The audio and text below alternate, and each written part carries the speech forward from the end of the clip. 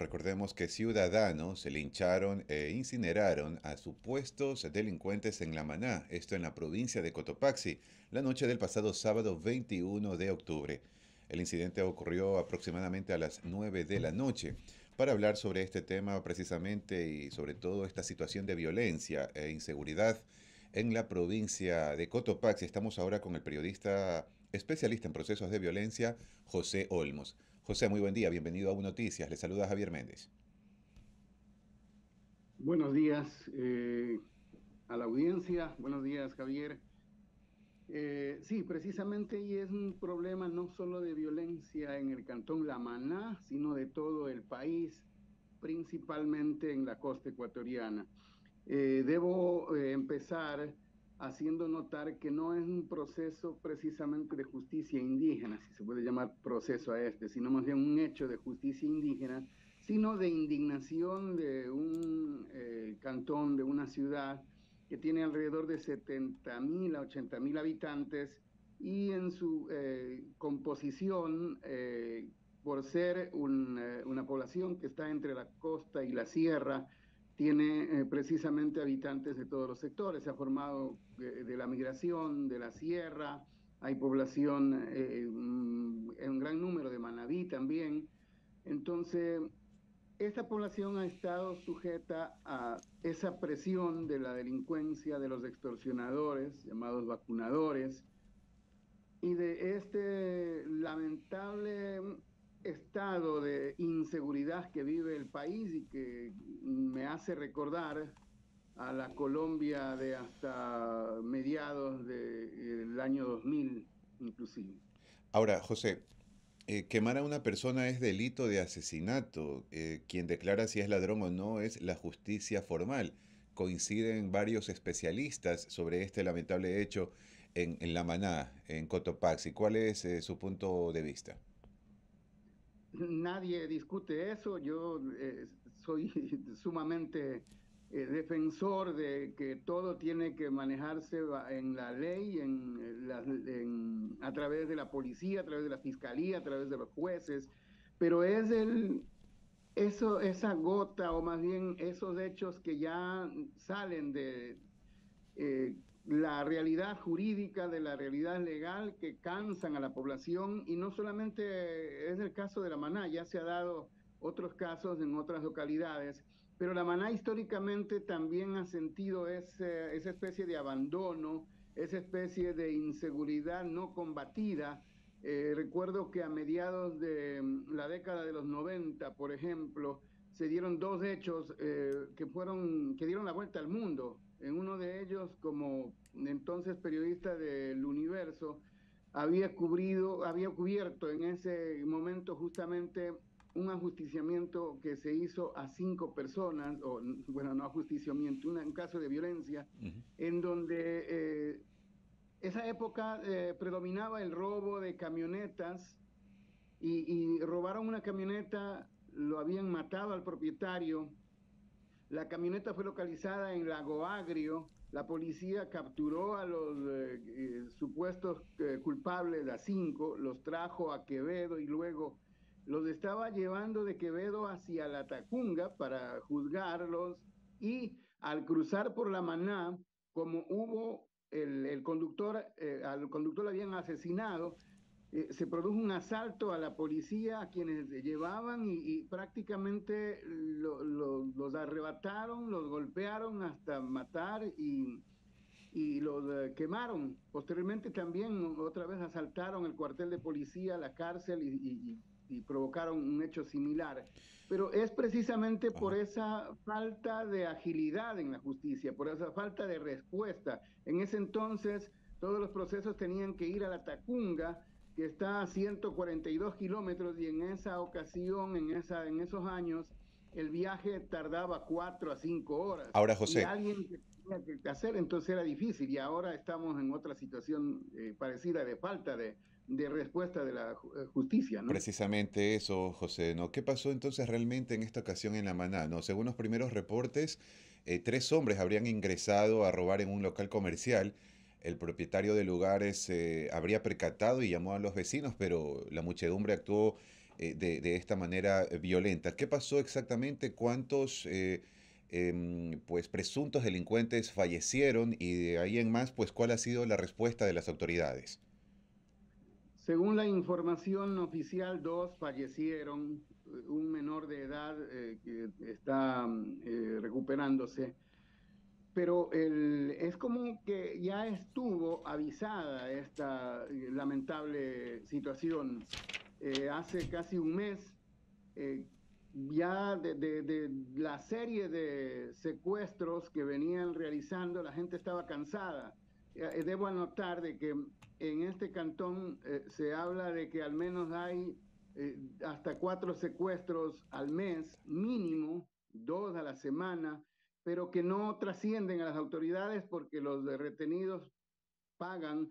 Eh, se hizo público y todos comentaron a un comerciante que lo tuvieron como tres o cuatro días. Ah, eh, se eh, dice, no hay información oficial, que paga, pagó 100 mil dólares. Y luego vino el secuestro a un médico y según la información de la policía, justamente cuando los secuestradores llevaron al médico a su consultorio para que mm, eh, saque el dinero de la caja fuerte, intervino la UNACE, que había estado trabajando, y capturaron a cuatro personas. Una de ellas, supuestamente un menor de edad, era el único que, que fue culpable, pero esa noche intentaron también asaltar el cuartel de, la policía, intentaron sacar a, a los presuntos, eh, a los acusados, más bien y eh, hacer lo que eh, hicieron en esta ocasión. Asimismo, un grupo grande de personas. Pero llegó, la, mm, llegaron refuerzos de la policía, llegaron eh, militares y todo se calmó. Pero quedó como esa sensación de, de, que no pudieron hacer. ¿no? A raíz de eso se cambió a toda la policía.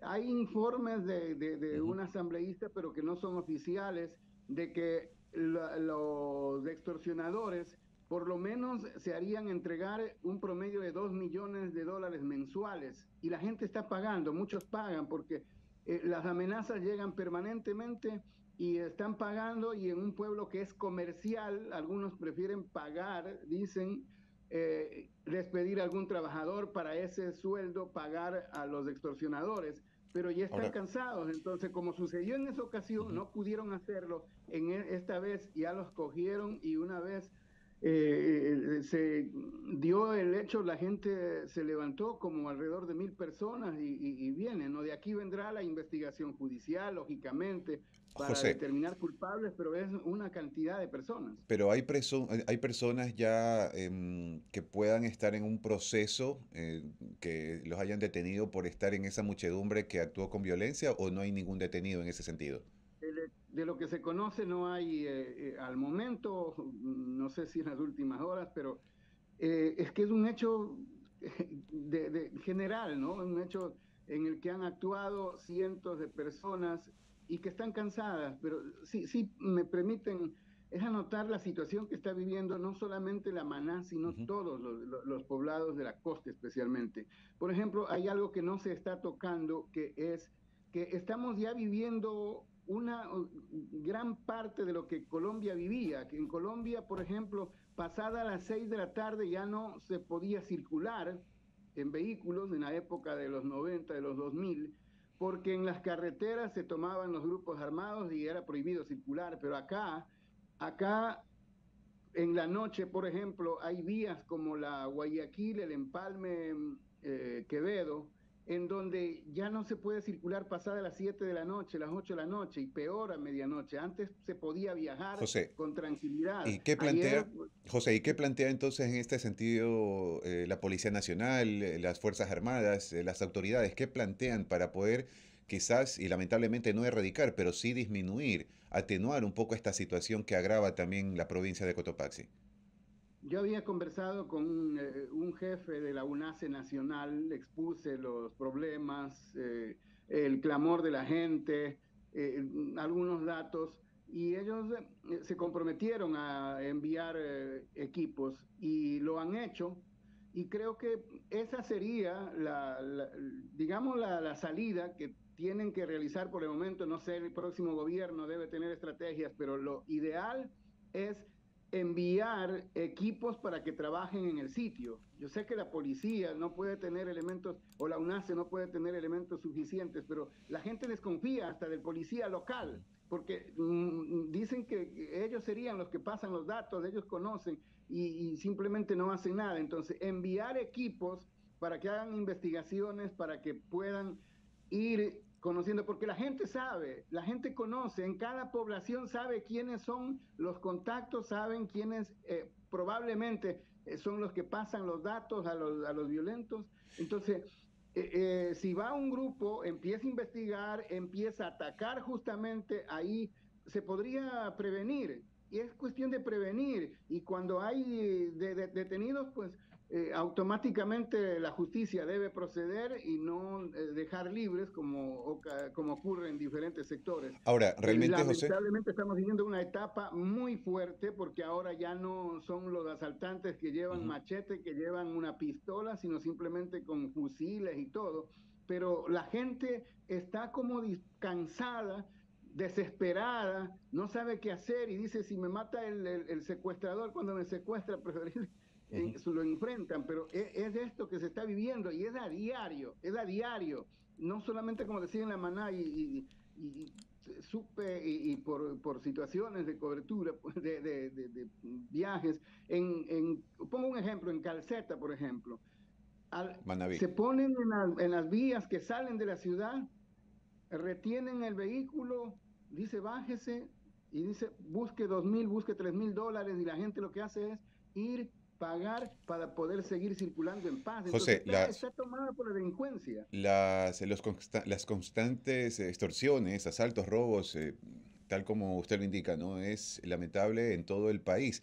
Pero dos errores no hacen un acierto, ¿no? Si los delincuentes cometen delitos, pues también la ciudadanía comete un delito para evitar otro delito y no hay justificativo, ¿no? En todo caso, quemar a personas eh, estar pues ahora con un proceso posible de delito de asesinato.